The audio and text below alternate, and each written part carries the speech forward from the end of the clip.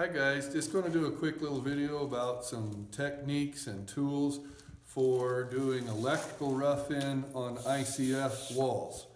Um, most all the brands of ICF are similar enough that this will work.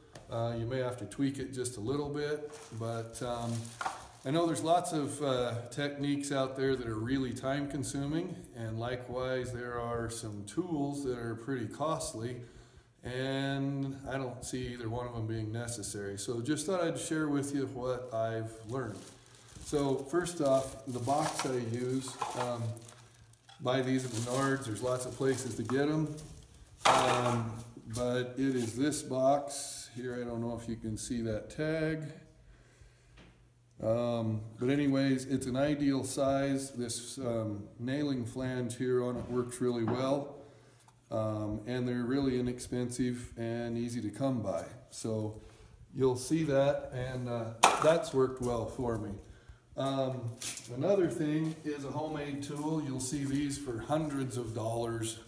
Um, this is a Sears soldering gun that uh, I think was uh, $14 about 15 years ago. Um, you'll notice it's it normally has a tip out here for soldering took these screws out, took the soldering tip out, took a piece of number nine wire and bent this um, the shape and size I wanted and um, you know spent nothing. You just use stuff laying around and uh, even if you don't have this stuff it's pretty inexpensive compared to the tools that you can buy that do the same thing but cost hundreds of dollars.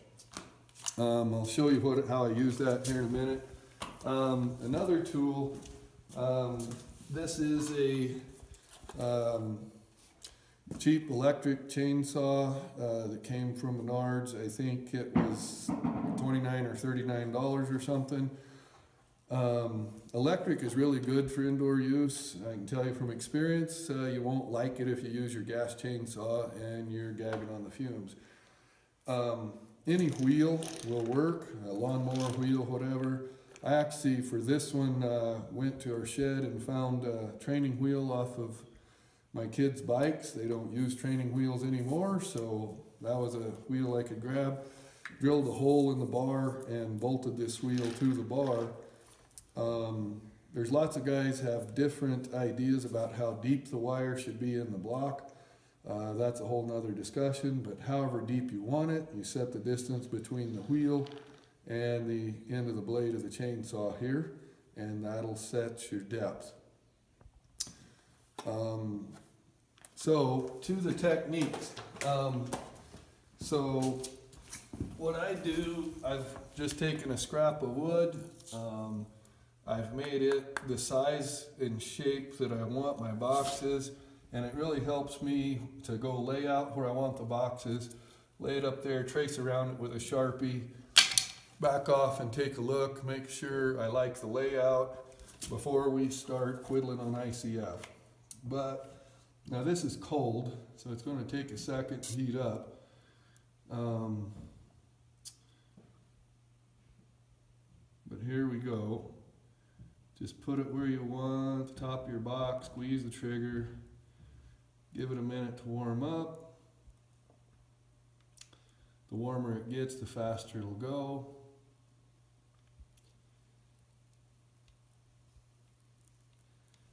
See it warming up and melting through the polystyrene. Now I got the as deep as I wanted and I'm putting a little bit of down pressure on it. And it's going down. And then get to the bottom and now I'm going to pull it out towards me.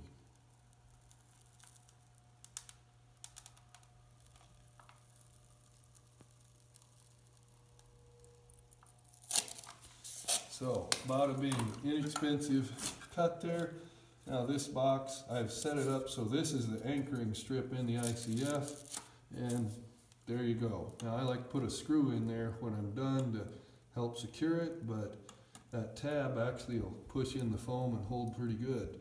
till you're ready to put the screw in. Um, now, as far as cutting the wire channel, you can see here, this is one that I've cut, and uh, you know, the Romex, you can use a paint stick or a shim or whatever just to poke it in there a little bit, but it pokes in and stays real nice.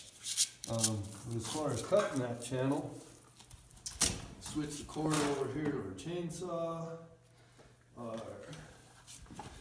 little electric chainsaw, get her set the height we want it here.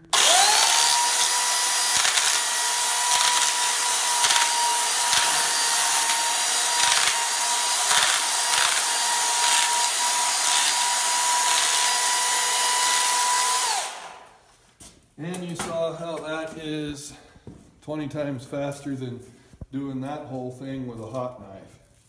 Um, now, as far as the wire goes, you'll do yourself a giant favor if you'll set yourself up some kind of a reel so that the wire comes off flat and straight. If you're pulling it out of the side of the coil, has all them kinks in it, uh, it'll be, take you a lot more time to get it straightened out and pushed in the, the kerf there. So I come over about, oh, eight inches or so past my box, cut that. And this is where we've got uh, power coming into this box and uh, going to an outlet. And then likewise, power going out of the box to the next outlet. And I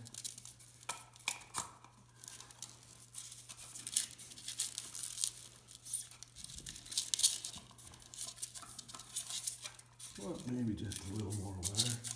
You can always trim off a little extra, whole lot easier than if you wish you had just a little more.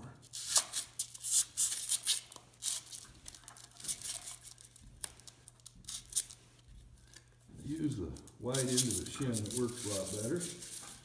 So you can see I've got that all poked in there where I want. Gonna grab a screw, whoops, my screw gun's over here. Back.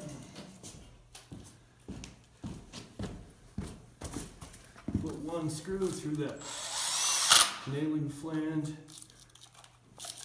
into the ICF anchoring strip.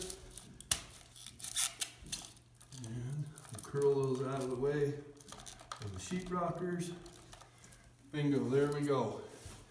So, hope that helps y'all and uh, saves you money, saves you time.